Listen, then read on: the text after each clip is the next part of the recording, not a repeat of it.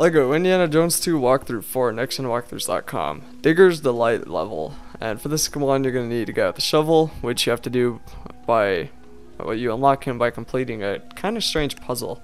And you have to get it, you have to blow up these, oh shoot, activate these heads and then uh, activate a bunch of other heads that appear around the map. And if you go to the nextgenwalkthroughs.com website, go to the Indiana Jones 2 collectibles guide, you can see for the races and other characters under Kingdom of the Crystal Skull Part 3. Have, the races and characters video has a guide for that, so go there if you need help. But yeah, uh, just go up and dig a hole, then come down here and do this level. Bonus level, obviously.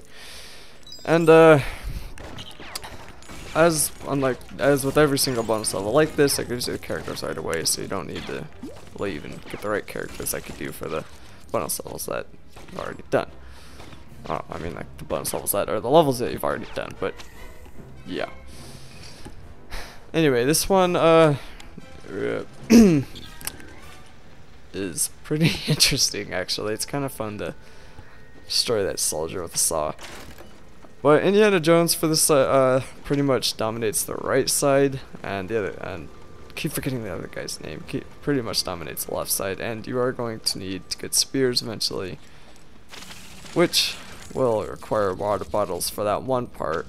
So, yeah. And then right on the left side, uh, my gosh, the left side of this level is just stupid. Especially the bicycles, it's really annoying. Well, anyway, uh, you're gonna want to come over here and fix this up so the other thing comes back up.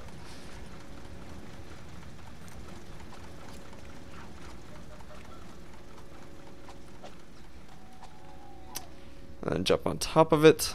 And over here is where probably the most annoying part of any bonus level. Besides maybe one of the bonus level.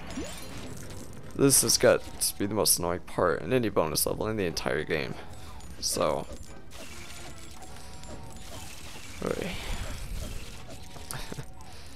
anyway, uh.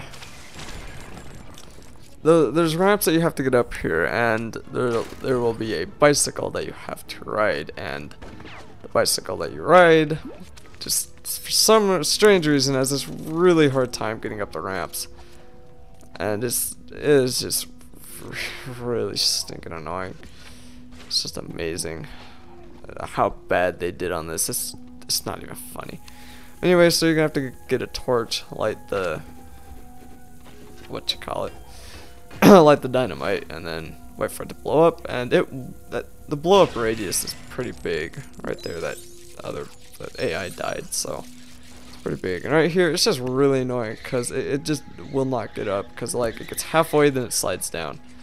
And the way that you kind of have to is kind of get it in between it where you can kind of zigzag it up. And it's it'll take a try or two because this is really stupid.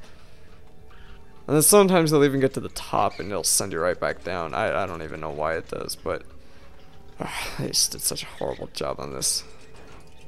Once you do get it up, try not to fall off from the... There we go. Try not to fall off there and then put it on this. And when you do, go get the spear.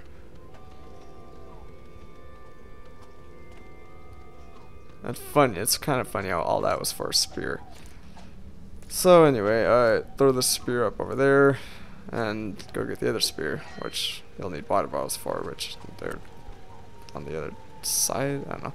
But anyway, but yeah, that's pretty much it for this. I'll go get the other spear, go get the uh, treasure chest, and then you'll have beaten the level.